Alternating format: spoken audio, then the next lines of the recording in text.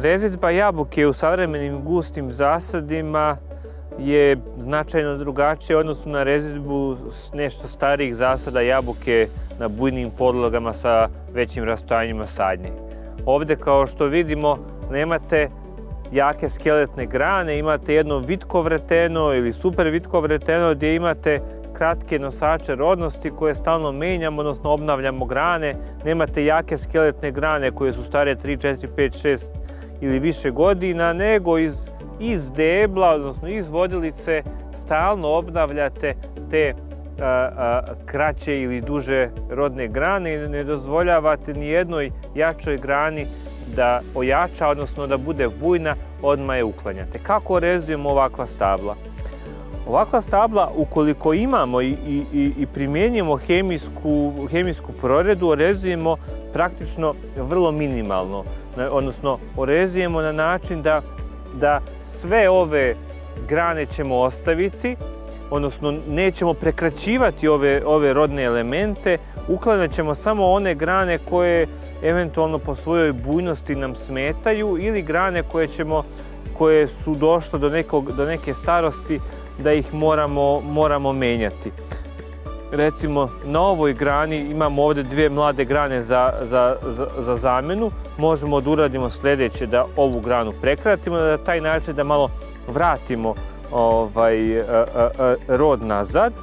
Na ovom donjem spratu koji je zasenjen, koji je niži, gdje imate uvijek manji porast nego u vrhu, moramo da taj porast stalno održavamo. I onda taj jednogodišnji porast, odnosno, ono, onaj dio porasta koji je u toku prethodne vegetacije izrastao, moramo da prekratimo.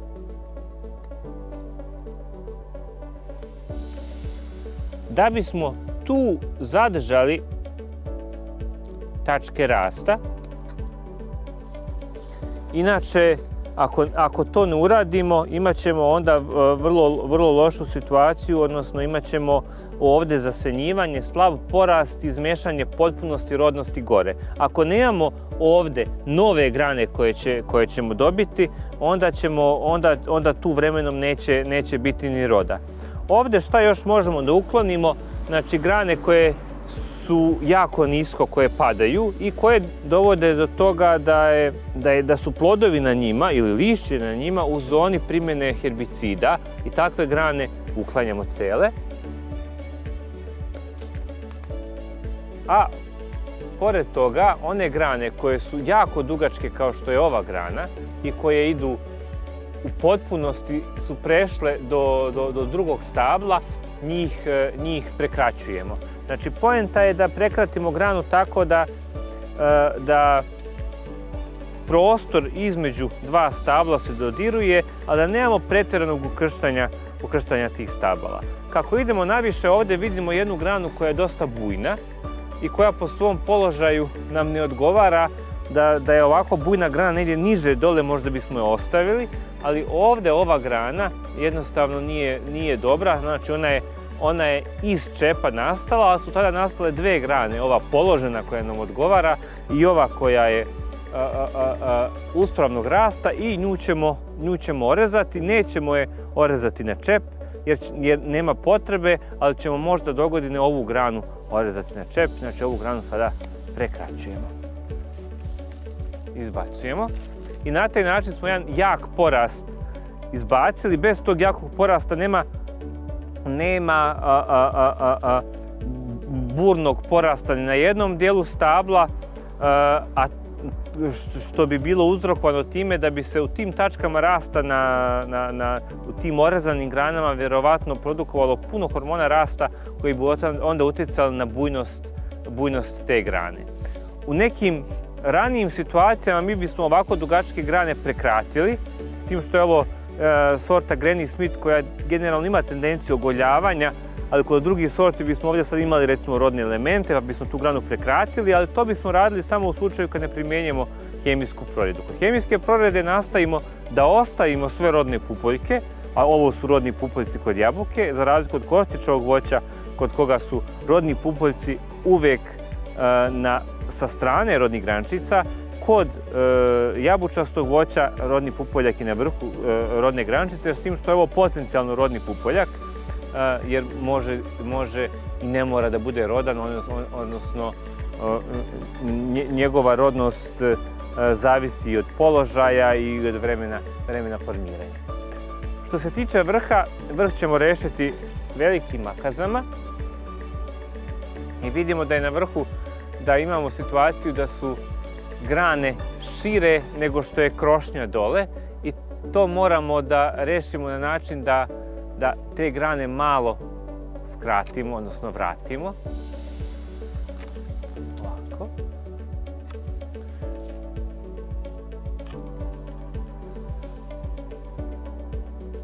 Da ne bismo imali gore kišobran koji zasenjuje donji sprat grana.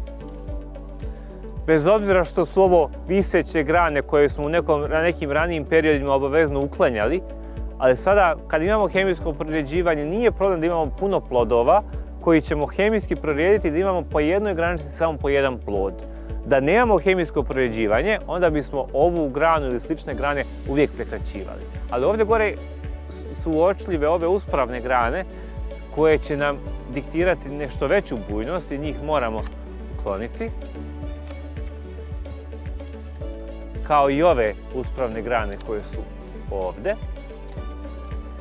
I imamo situaciju sada vrha koji možemo da rešimo na dva načina, a to je da prevedemo na neku manje bujnu granu, to bi bila ova, ili da recimo, znači dva načina su da uradimo ovo, prevedemo na ovu granu, onda tu taj jednogodišnji porast prekratimo na otprilike četiri pupoljka, ili prevedemo na neku manje bujnu, ali ne, ne, ne vrlo kržljavu pa vodilicu, odnosno bočnu granu kao što je ova. I na taj način rešimo ovaj vrh, s tim što vrh dalje možemo prekratiti i ne moramo ako ako je grana ovakve bujnosti. Time bismo završili rezidbu ovog stabla sa, sa ove strane, dakle jedna blaga rezidba kojom nastavimo da sačuvamo što više što više rodnih pupoljaka. Ovo je sorta Granny Smith, neke druge sorte možda bi imale drugačija stabla i imaju e, sa drugačijim rasporedom rodnih grana, drugačijim e, rasporedom generalnog grana i njih bismo možda morali da rezimo nešto, oštrije, ali e, rezidba kod jabuke u savremenim intenzivnim zasadima nije više takva da rezidbom regulišemo rodnost, ne nastojimo da ostavimo što više pupoljaka, a da onda hemijskim proređivanjem smanjimo, smanjimo tu rodnost.